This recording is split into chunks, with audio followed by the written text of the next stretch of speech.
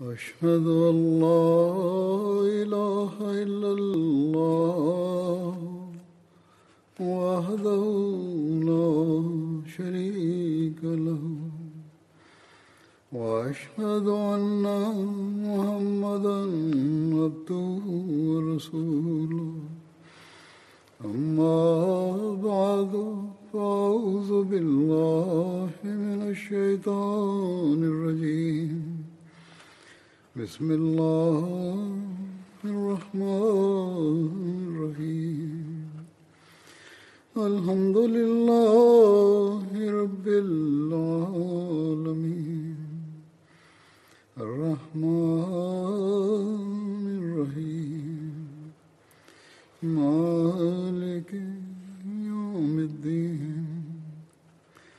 إياك نعبد وإياك نستعين. اهدنا الصراط المستقيم.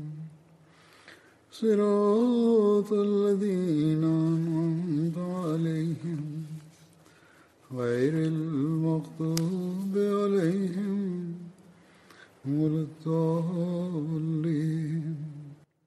O'tgan xutbalarda hazrat saad ibn muaz zikr etilayotgan edi. U zot roziyallohu anhuning rasululloh sollallohu alayhi vasallamga nisbatan ahdiga vafo qilish to'g'risidagi bir voqeasi o'tgan xutbada ham zikr etilgan. Hazrati muslim maud roziyallohu anhu ham bu voqeani o'z uslubida bayon etganlar. U zot roziyallohu anhu shunday deydilar. Tabiiyki oshiq kishi o'z mahbubiga qandaydir azob uqubat yetishini xohlamaydi. Mahbubining jangga borishini yoqtirmaydi. Balki mahbubini urushdan saqlashga imkoni boricha harakat qiladi. Xuddi shunday sahobalar ham rasululloh sollallohu alayhi vasallamning janglarga qatnashishlarini yoqtirmas edilar. Sahobalar o'zlarining jangga qatnashishlarini emas balki ular rasululloh sollallohu alayhi vasallamning janglarga qatnashishlarini yoqtirmas edilar.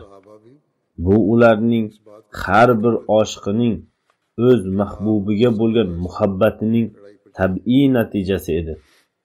Biroq bunga qaramay tarixdan shu narsa isbotlanadiki rasululloh sollallohu alayhi vasallam badrga yaqinlashganlarida sahobalarga alloh taolo menga biz karvonga yuzma yuz bo'lishimiz o'rniga lashkarga yuzma yuz bo'lishimiz xabarini bergan deb marhamat qildilar. So'ngra rasululloh sollallohu alayhi vasallam sizlar qanday maslahat berasizlar? deb ular bilan fikr almashdilar. Kibor sahobalar u zot sollallohu alayhi vasallam gaplarini eshitib navbatma navbat turib nihoyatda fidoyi nutqlar qilib biz har qanday xizmat uchun hozirmiz dedilar. Ulardan biri turib nutq qilib o'tirib olganida ikkinchisi turib maslahat berib o'tirar edi. Qisqasi agar alloh taolo bizni jang qilishga buyurgan bo'lsa biz albatta jang qilamiz dedilar. Maslahat beruvchi har bir kishi maslahat berib o'tirib olganida rasululloh sollallohu alayhi vasallam menga maslahat beringlar dedilar. Bunga sabab shu ediki hozirgacha qancha sahobalar turib nutq qilgan va maslahat bergan bo'lsalar ularning barchasi muhojirlardan bo'lgan. Rasululloh sollallohu alayhi vasallam odamlarga qayta qayta menga maslahat beringlar deganlarida avos qabilasining raisi saad ibn muaz u sollallohu alayhi vasallamning muddaolarini tushunib ansoriylar tomonidan turib shunday dedi. Yo rasululloh sizning huzuringizda maslahatlar berilmoqda. Ammo siz yana maslahat beringlar deyapsiz. Siz ansorlarni nazarda tutib so'rayotgan bo'lsangiz kerak. Biz hozirgacha sukut saqlab o'tirganmiz. Bunga sabab shu ediki agar biz jang qilishni qo'llaganimizda muhojirlar bu kishilar qavmimiz va birodarlarimiz bilan urushib ularni qatl etmoqchilardir deb tushunadilar. Hazrat saad yana dedi yo rasululloh ehtimol siz aqba baytida tuzilgan shartnoma to'g'risida o'ylayapsiz. U shartnoma bo'yicha biz tomonimizdan agar dushman madinaga hujum qilsa biz uni muhofaza qilamiz. Ammo agar madinadan tashqariga chiqib jang qilishga to'g'ri kelsa biz unga javobgar emasmiz degan shart qo'ygan edik. Rasululloh sollallohu alayhi vasallam ha dedilar. Saad ibn muaz dedi yo rasululloh biz sizni madinaga olib kelganimizda maqom martabangizni unchalik bilmas edik. Biz endi haqiqatni o'z ko'zimiz bilan ko'rib oldik. Endi haligi shartnoma nazarimdan hech bir ahamiyatga ega emas. Ya'ni aqbada tuzilgan ahdnoma bir dunyoviy ahdnoma bo'lgan edi. Endi ma'naviy ko'zlarimiz ochilganidan so'ng u ahdnomaning hech qanday ahamiyati yo'q. Yo rasululloh siz qayerga buyursangiz biz siz bilan birgamiz. Xudoga qasamki agar siz bizni dengizga sho'ng'ish uchun buyursangiz sho'ng'iymiz va bizdan bittamiz ham o'rtada orqada qolib ketmaymiz. Yo rasululloh biz sizning o'ngingizda va chapingizda ham oldingizda ham va orqangizda ham turib jang qilamiz. Dushman bizning jasadlarimizni ezib o'tmagunga qadar sizga yeta olmaydi. Hazrat muslim maud roziyallohu anhu arrad surasining o'ninchi oyati lahu muaqqabatun min bayni yadayhi va min xalfihi. Ya'ni uning oldida va orqasida yuradigan qo'riqchilari bor degan oyatni tafsirlab shunday dedilar. Rasululloh sollallohu alayhi vasallam payg'ambarliklarning barcha davri alloh taolo qilgan muhofaza va'dasiga yaqqol dalildir. Chunonchi makkada u sollallohu alayhi vasallamni farishtalarning o'zlari muhofaza qilardilar. Aks holda shunchalik ko'p dushmanlar qurshovida bo'lganlarki u zot sollallohu alayhi vasallam qanday qilib tirik qolishlari mumkin edilar. Biroq madinaga tashrif buyurganlarida ikki turli muhofaza u zot sollallohu alayhi vasallamga nasib etilgan. Ya'ni osmoniy farishtalar va yer farishtalari sahobalar muhofazasiz ham badr jangi zohiriy hamda botiniy muhofazaga bir go'zal misoldir. U zot sollallohu alayhi vasallam madinaga tashrif buyurganlarida rasululloh sollallohu alayhi vasallam madinaliklar bilan agar men madinadan tashqariga borib jang qilsam sizlar yordam berishga majbur bo'lmaysizlar deb ahd tuzilgan edilar. Badr jangiga haqida u zot sollallohu alayhi vasallam ansorlar va muhojirlardan jang qilish to'g'risida maslahatlashganlarida muhojirlar qayta qayta olg'ali bilan sobit qadamliklarini bayon qilganlar. Biroq rasululloh sollallohu alayhi vasallam ularning gaplarini eshitib ey odamlar menga maslahat beringlar dedilar. Shunda bir ansoriy saad ibn muaz yo rasululloh siz bizni nazarda tutyapsiz shekilli deb so'radi. Huzur sollallohu alayhi vasallam ha dedilar.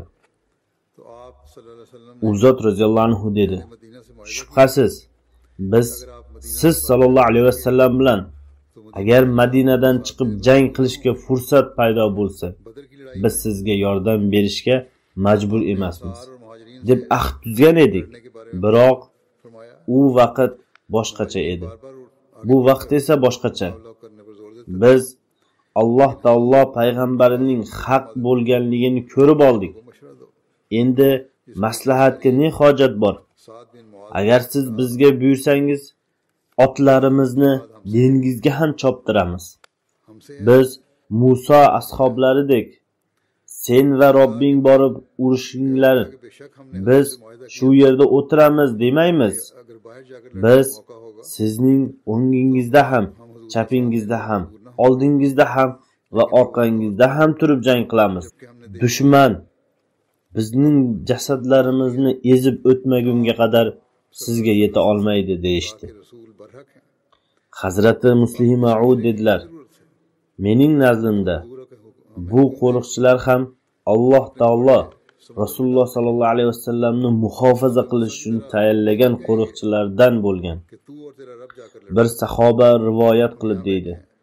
Men rasululloh sollallohu alayhi vasallam bilan birga o'n uchta jangda ishtirok etganman. Mening qalbimda ko'p marotaba shunday xohish istak paydo bo'lganki janglarda qatnashish o'rniga saad ibn muaz ahdiga vafo qiluvchi so'zlari koshki mening og'zimdan chiqsa edi. Badr jangi paytida hazrat saad ibn muazning ixlos vafosini zikr etib hazrat mirza bashir ahmad sohib shunday qayd etganlar. Islomiy lashkar qarorgoh qilib olgan joy unchalik muhim joy emas edi. Shu sababdan hubbob ibn munzir nabiy sollallohu alayhi vasallamdan siz bu joyni alloh taoloning vahiysiga binoan tanladingizmi? Yoki harbiy strategiya sifatida tanladingizmi? deb so'raganida payg'ambarimiz sollallohu alayhi vasallam shunday dedilar. Bu haqda alloh taoloning hech qanday buyrug'i yo'q. Siz agar qandaydir maslahat bermoqchi bo'lsangiz bering. Hazrat hubbob ibn munzir dedi mening fikrimcha bu ma'qul joy emas.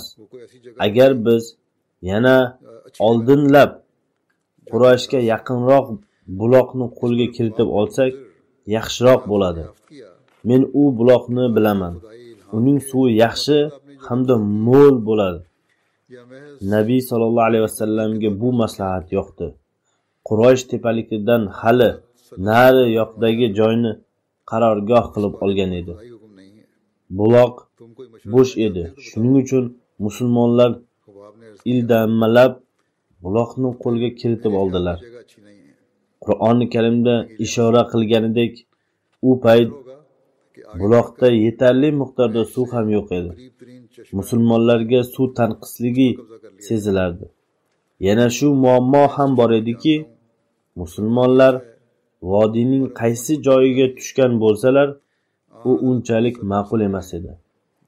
Zero u yerda qum ko'proq edi. Shu sababdan hamda qadam bosish juda ham qiyinroq edi. Joyni tanlagandan so'ng ovoz qabilasi raisi saad ibn muazning tavsiyasiga binoan sahobalar maydonning bir qismida rasululloh sollallohu alayhi vasallam uchun bir soyabon qurib qo'yishdi. hazrat saad u zot sallallohu alayhi vasallam ulovlarini soyabon yonida bog'lab qo'yib shunday dedi. Yo rasululloh siz shu yerda o'tirib turyapsiz. Biz alloh taoloning nomi bilan dushmanga qarshi kurashamiz. Agar istaganimizdek alloh taolo bizga fath ato etsa alhamdulillah yaxshi. Ammo agar ish boshqacha bo'lsa siz o'z ulovingizga minib madinaga yetib bora olasiz. U yerdagi mavjud birodarlarimiz muhabbat va ixlosdan bizdan kam emas. Ammo ular jangga duch kelishlarini bilmasdilar. Shuning uchun biz bilan birga kelmaganlar. Aks holda ular orqada qolmasdilar. Ular ahvoldan xabar topib sizni muhofaza qilishadi. o'z jonlarini ham ayamaydilar. Bu hazrat saadning ixlosu vafo jo'shqinligi izhori edi. Bu har holda maqtovga loyiqdir. Biroq alloh taoloning payg'ambari maydondan qochishi mumkinmi? Rasululloh sollallohu alayhi vasallam janglarda eng birinchi safda bo'ladilar. Chunonchi hunayn maydonida biz ko'ramizki o'n ikki ming askardan iborat lashkar orqaga chekindi ammo tavhid markazi bo'lgan zot sollallohu alayhi vasallam o'z o'rinlaridan jilmadilar. Qisqasi saadning tavsiyasiga binoan soyabon qurildi. Saad va boshqa ansoriylar atroflarda qo'riqlash uchun shay bo'ldilar. rasululloh sollallohu alayhi vasallam va hazrat abu bakr roziyallohu anhu ana o'sha soyabonda tun kechirdilar. rasululloh sollallohu alayhi vasallam tun bo'yi alloh taolo huzurida tazarru bilan yolvorib duo qildilar. Rivoyatlarga ko'ra barcha lashkarlardan butun tunni bedor o'tkazgan zot rasululloh sollallohu alayhi vasallam bo'lganlar. Qolgan barcha kishilar navbatma navbat uxlab chiqdilar.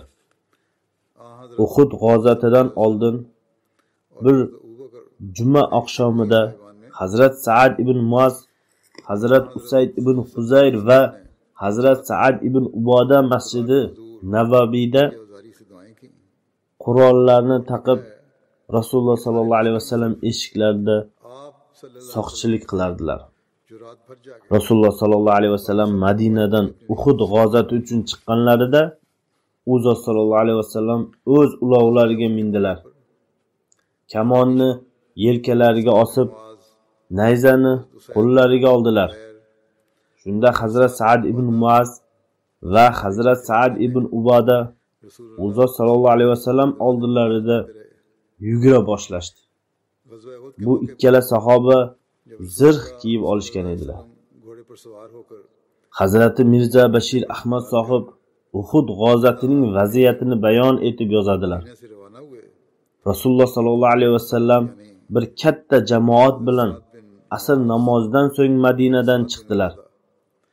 Avaz hamda hazrat qabilasining sardori saad ibn umm-, muaz va saad ibn uboda o'zot sollallohu alayhi vasallamning ulovlari oldida sekin asta yugurib ketayotgan edilar.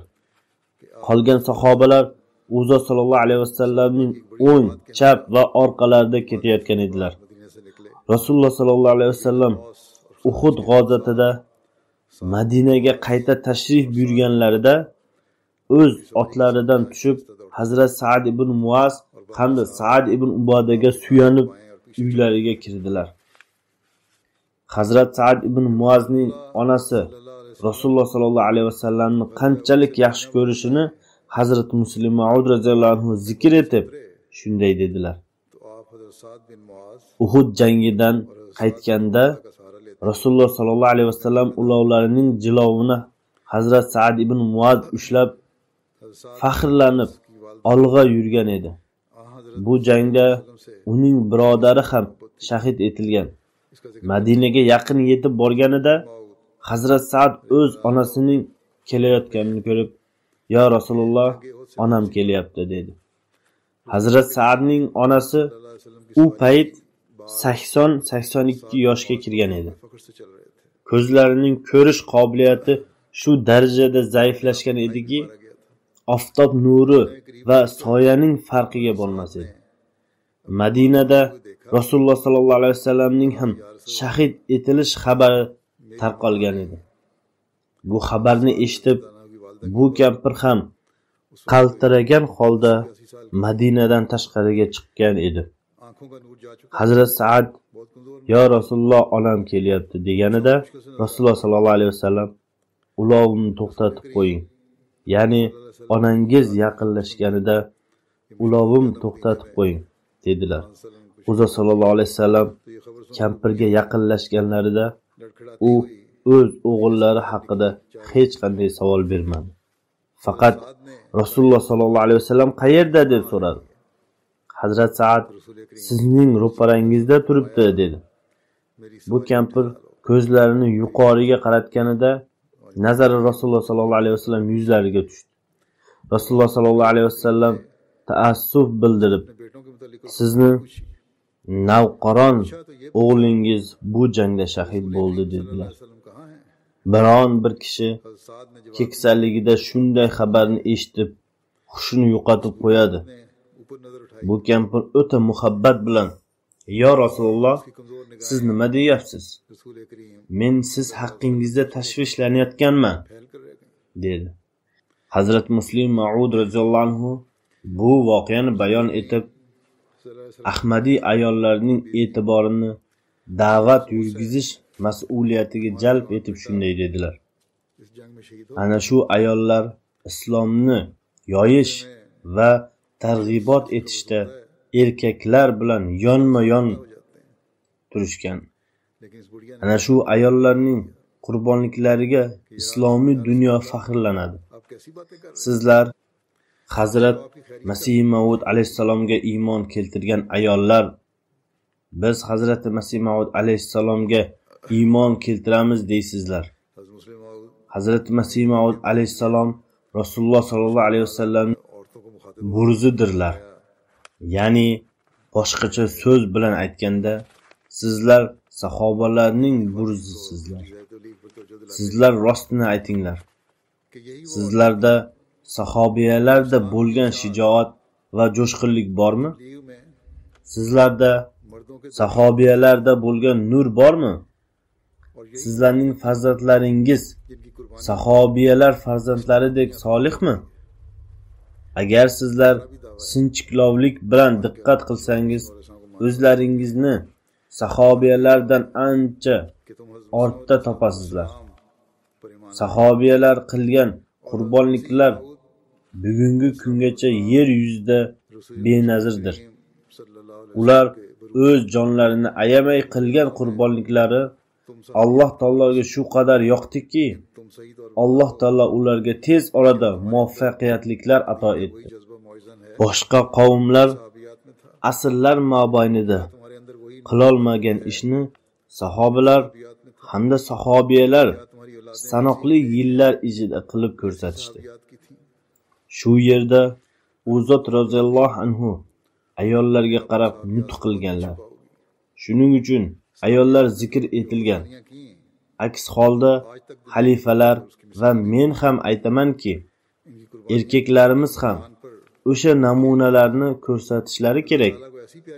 Shundagina biz islom payg'omini dunyoga tarqatamiz. Dunyoni islom bayrog'i ostida jamlaymiz.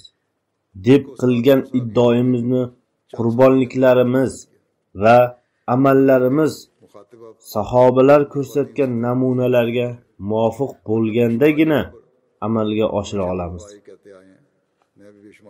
Hazrati muslim maud roziyallohu anhu dedilar dunyo magdalalik maryam va unga sherik ayollarning shijoatiga quvonadi zero u masihning qabriga tong payti dushmanlardan yashirinib borgan edi.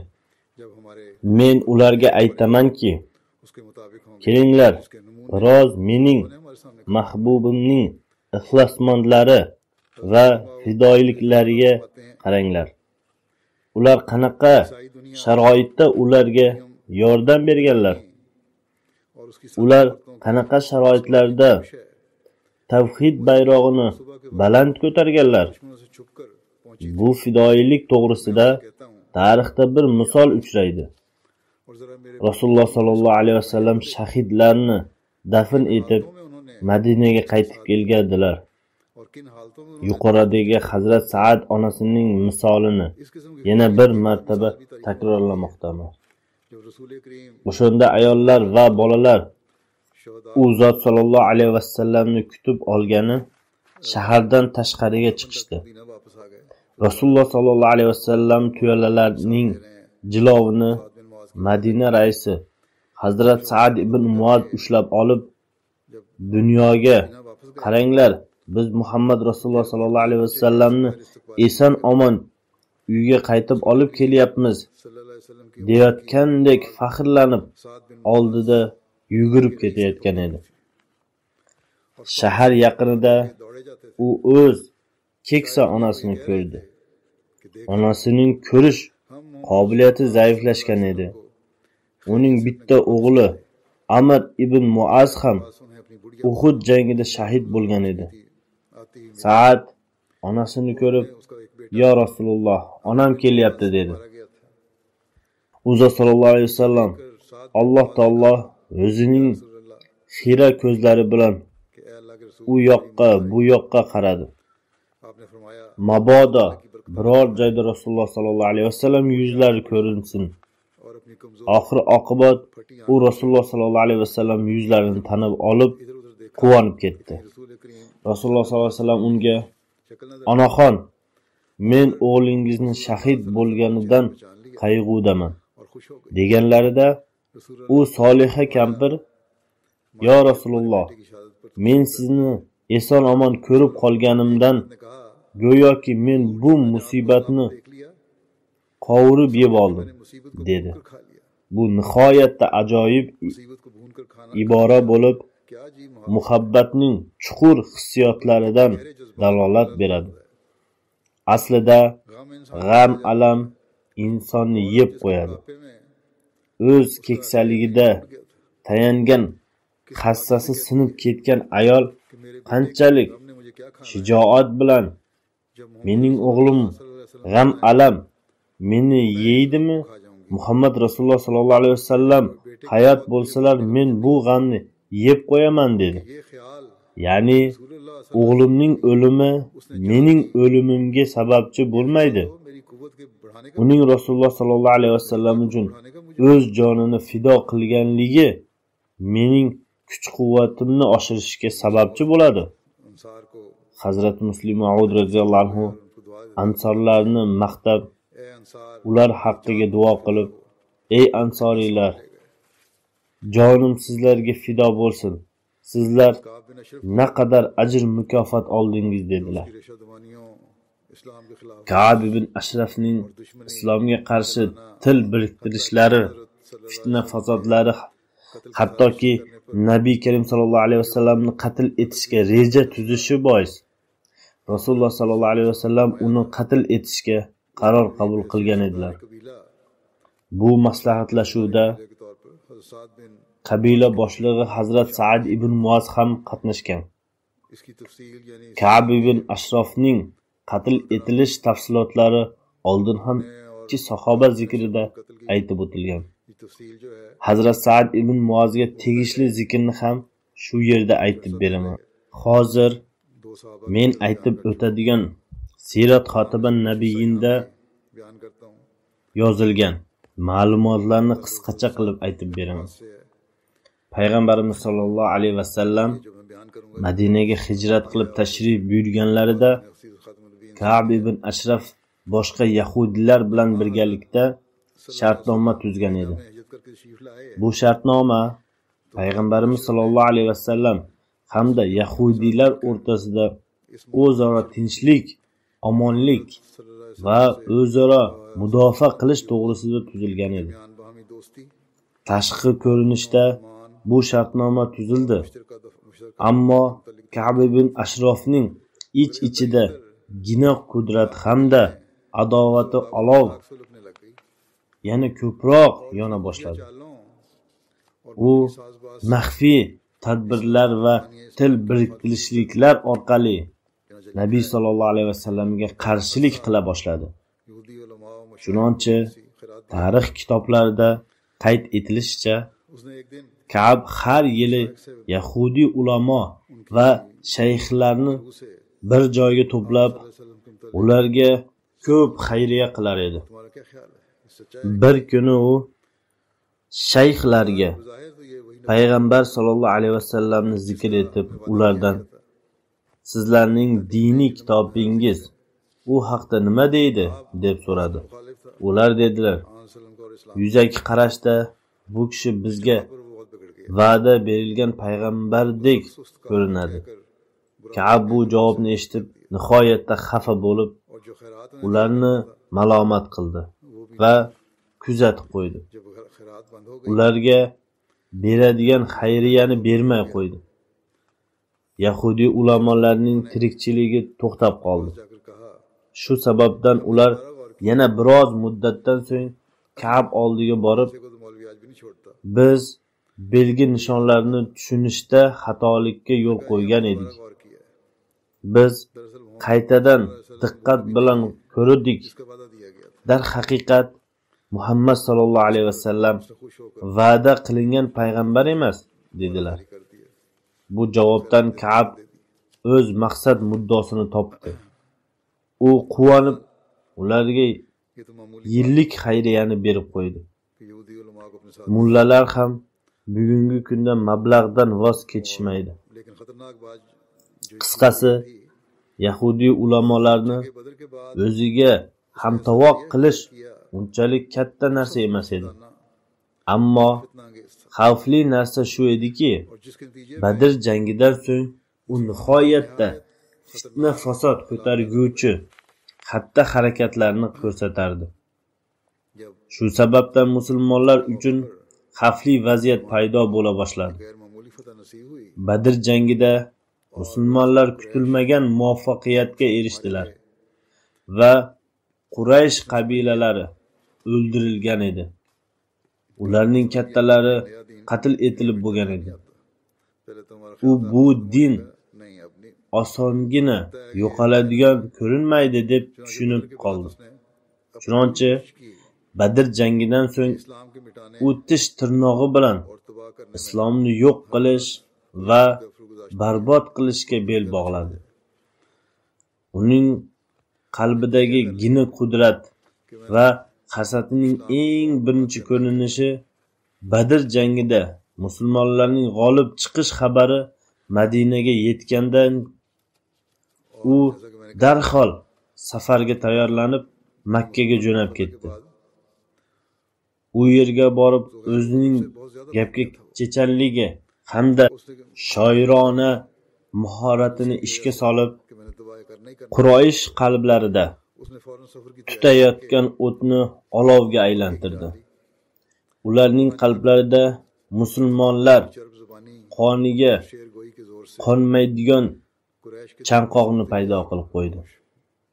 Ularning ko'kraklarini adovat hamda intiqom bilan to'ldirib qo'ydi. Kaabning gijgijlash sababi quroyish hissiyotlari avjiga chiqdi. u. Ularni xonai kaba hovlisiga olib bordi. hamda kabaning pardalarini ularga ushlatib islom hamda islom asoschisining yer yuzidan nom nishonlarini o'chirmagungacha tinch o'tirmaymiz deb qasamlar ichirdi ya'ni u makka kofirlaridan ahd oldi bu baxtsiz. Makkada vulqonni paydo qilib boshqa arab qabilalariga yuzlandi. U qabilama qabila uchrashib musulmonlarga qarshi ularni alanglantirdi. So'ngra madinaga qaytib kelgach musulmon ayollarga nisbatan hissiyotni qo'zg'aydigan she'rlarda yaramas hamda fahsh so'zlar bilan musulmon ayollarni tilga oldi. Hattoki payg'ambarimiz sollallohu alayhi vasallam oilasidagi ayollarni ham o'zining yaramas she'rlarida nishonga olishdan voz kechmadi. Mana shu butun diyorlarda shu she'rlarini tarqatdi. Bu barcha narsalardan tashqari u payg'ambarimiz sollallohu alayhi vasallamni qatl etish uchun ziyofat bahonasi bilan chaqirib ozgina yahudiy yigitlar orqali o'zi sollallohu alayhi vasallamni qatl etish rejasini tuzgan edi. Biroq alloh taoloning fazl marhamati bilan o'z vaqtida xabari bo'lib va uning rejasi chippakka chiqdi.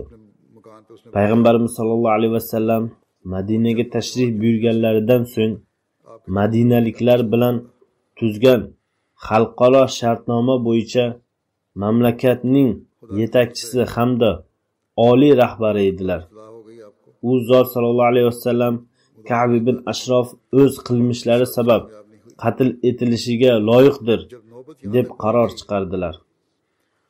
U zot sollallohu alayhi vasallam o'zlarining ba'zi sahobalariga u qatl etilsin deb marhamat ham qildilar.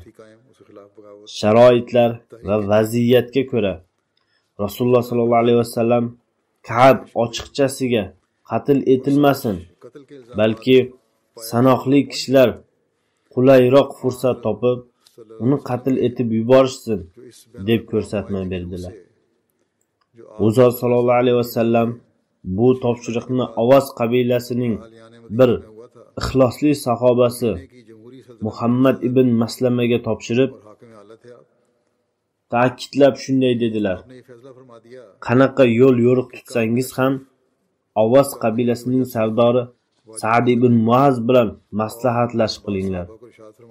Chunonchi muhammad ibn maslama hazrat sad ibn muazning maslahati bilan abu noil hamda ikki uch sahobani o'ziga hamroh qilib kabni qatl etishdi. bularning o'tgan xutbalarda aytib o'tganman tadbir taqozasiga binoan kaab kechasi uydan chiqartirilib qatl etildi kaabning qatl etilish xabari madinada tarqatilganda shaharda sarosimalik paydo bo'ldi yahudiylar qattiq g'azablandilar keyingi kuni ertalab yahudiylarning bir guruhi payg'ambarimiz sollallohu alayhi vasallam huzurlarida hozir bo'lib sardorimiz kabibin ashraf qatl etildi deb shikoyat qildi. Payg'ambarimiz sollallohu alayhi vasallam ularning gaplarini eshitib shunday dedilar. Sizlar bilasizlarmi kab qanaqa qilmishlarni qilgan? So'ngra u zot sallallohu alayhi vasallam ularga qisqacha kabning ahd buzarligi millatlararo jang qo'zg'ashi, fitna-fasod solish, fohish gaplar gapirishi hamda qatl etish rejasini tuzish va hokazo qilmishlarini eslatdilar. Shunda bu kishilar qo'rqib indamay qaytib ketishdi. Shundan so'ng payg'ambarimiz sollallohu alayhi vasallam ularga hech bo'lmasa sizlar kelgusida tinchlik, omonlik bilan yashanglar. adovat hamda fitna fasod urug'ini sochmanglar dedilar. Chunonchi yahudiylarning roziligi bilan kelajak uchun yangi ahdnoma tuzildi.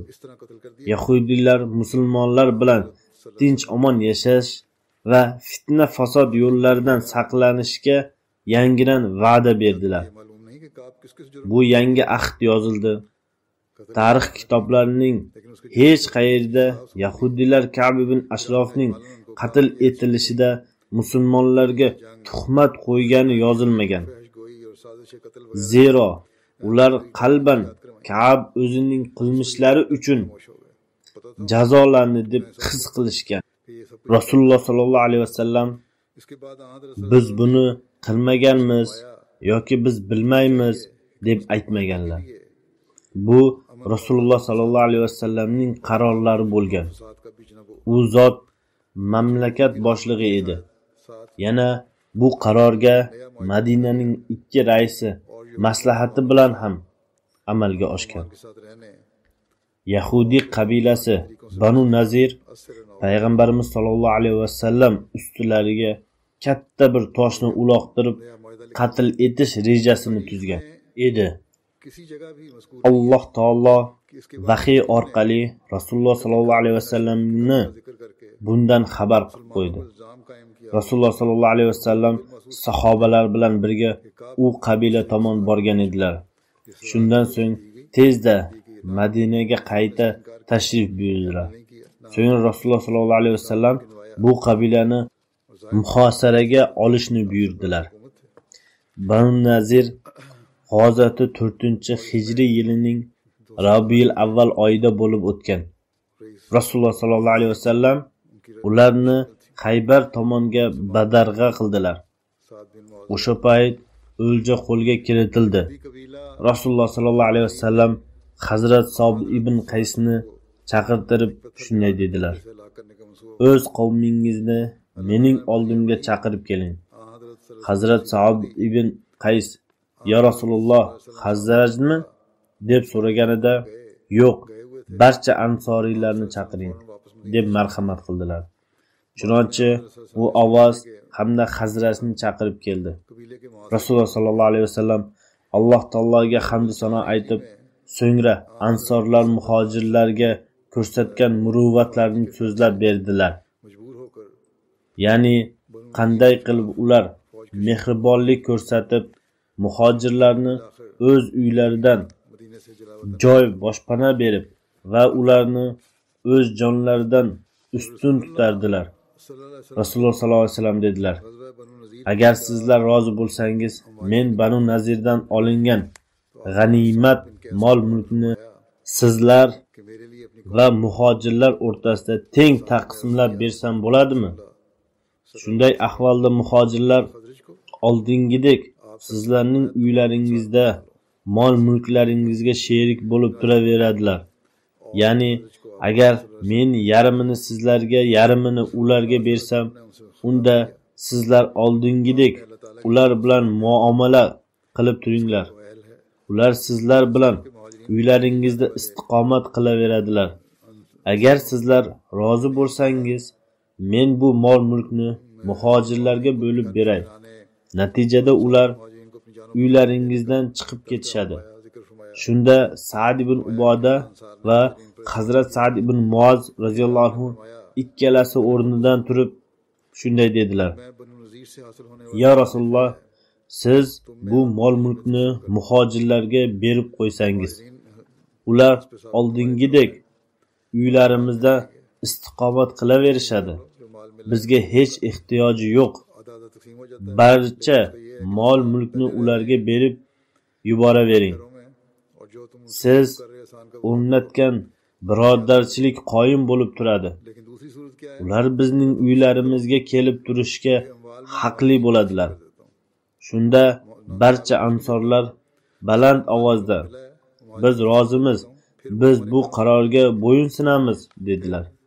Shunda rasululloh sollallohu alayhi vasallam ey olloh ansor va ansorlarning o'g'illariga rahm qilgin deb duo qildilar.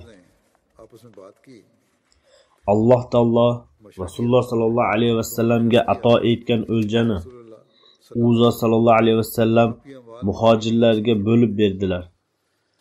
Ansoriylardan ikki sahobadan bo'lak boshqalarga hech narsa berilmadi. Ansoriylarning bu ikkala sahobasi hazrat sahal ibn hunayf va hazrati abu juno ehtiyojmand kishilar edi.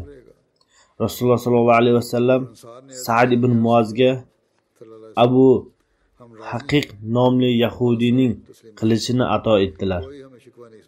Bu qilich yahudiylar orasida o'ta shuhrat qozongan edi. Ifq voqeasi yuz berganida ya'ni hazrati oysha roziyallohu anhuga tuhmat qilganida rasululloh sollallohu alayhi vasallam va hazrat oysha roziyallohu anha hamda u zotning oilalari katta azob uqubatga duch kelishgan. Rasululloh sollallohu alayhi vasallam munofiqlarning bu qilmishlari sahobalar oldida zikr etildi. Shu fursatda ham hazrat sad ibn muaz cheksiz fidoyilikni izhor etdi. hazrat muslim maud roziyallohu anhu bu voqeani batafsil yoritib berganlar. Men bu voqeani bir sahoba hazrati mistahnin zikr qilganda oldin batafsil bayon etganman. Biroq hazrat saadga tegishli qismini shu yerda aytib o'taman. Rasululloh sollallohu alayhi vasallam bir kuni uydan tashqariga chiqib sahobalarni to'plab menga aziyat yetkazgan kishidan qutqaradigan birov bormi? dedilar. U zot sallallohu alayhi vasallamning bundan murodlari abdulloh ibn ubay ibn sulul edi. Avos qabilasi boshlig'i hazrat sad ibn muaz o'rnidan turib yo rasululloh agar u kishi bizning oramizda bo'lsa biz uni o'ldirishga tayyormiz. Agar hazrashda bo'lsa unda ham biz uni o'ldirishga tayyormiz dedi. Handak g'ozati mobaynida abu sufyan banu nazir qabilasi raisini banu qurayza raisi kab ibn asvad oldiga u musulmonlar bilan tuzgan ahdni buzsin deb jo'natdi. kab ibn asvad bunga rozi bo'lmaganida unga ko'p va'dalar berib musulmonlarning halok bo'lishliklariga ishontirib musulmonlar bilan tuzgan ahdni buzishga uni ko'ndirdi. Balki ular uni makka kofirlariga yordam berishga ham rozi qilib olishdi. Bu voqeani hazrati mirza bashir ahmad sohib siyrat xotimin nabiyin asarida zikr etib shunday yozadilar. Rasululloh sollallohu alayhi vasallam banu qurayzaning ashaddiy sotqinlarining bilgach ikki uch marta kufyona hazrat zubayr ibn al avom roziyallohu anhuni vaziyatni bilgani jo'natdilar. Shundan keyin rasmiy turda avaz hamda hazrat qabilalarning raislar sad ibn muaz sad ibn uboda hamda ba'zi boshqa nufuzli sahobalarni delegatsiya qilib banu qurayza tomon yubordilar.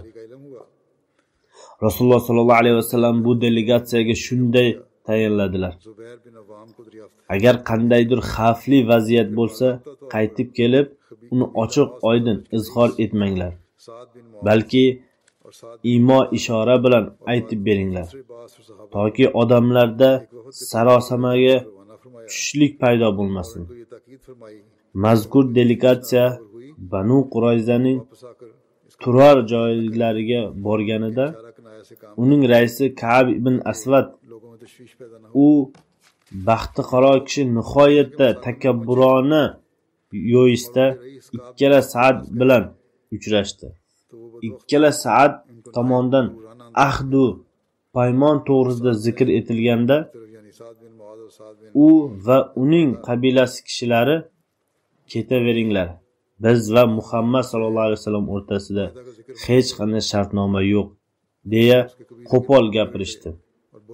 Bu so'zlarni eshitgach sahobalardan iborat bu delegatsiya u yerdan turib ketib qolishdi. Saad ibn mas va saad ibn ubada payg'ambarimiz sollallohu alayhi vasallam huzurlarida hozir bo'lib vaziyatdan munosib yurishda xabardor qilishdi. Qisqasi u payt ularning bu qiliqlari musulmonlarga katta zarb bo'ldi. Madinaning to'rt tomonidan makka kofirlari qurshab olgan edi. Jang vaziyatlari sabab bu qabilaga qarshi chora ko'rish mumkin emas edi. Rasululloh sollallohu alayhi vasallam jang tugaganidan so'ng shahariga qaytib kelganlarida alloh taolo kashfda banu qurayzaning sotqinligi hamda sarkashligi uchun jazolanish xabarini berdi. Shunda uzo sollallohu alayhi vasallam banu qurayza qal'alariga chiqinglar. asr namozini o'sha yerda o'qiymiz deb sahobalarga buyurdilar. Hazrati alini esa sahobalarning bir guruhi bilan darhol yo'lga otlantirdilar. Bu jang tafsilotlari biroz uzunroq. Unda oxir oqibat hazrat saadning qaror chiqarish roli ham bor. Hozir vaqt qisqa. Xudo xohlasa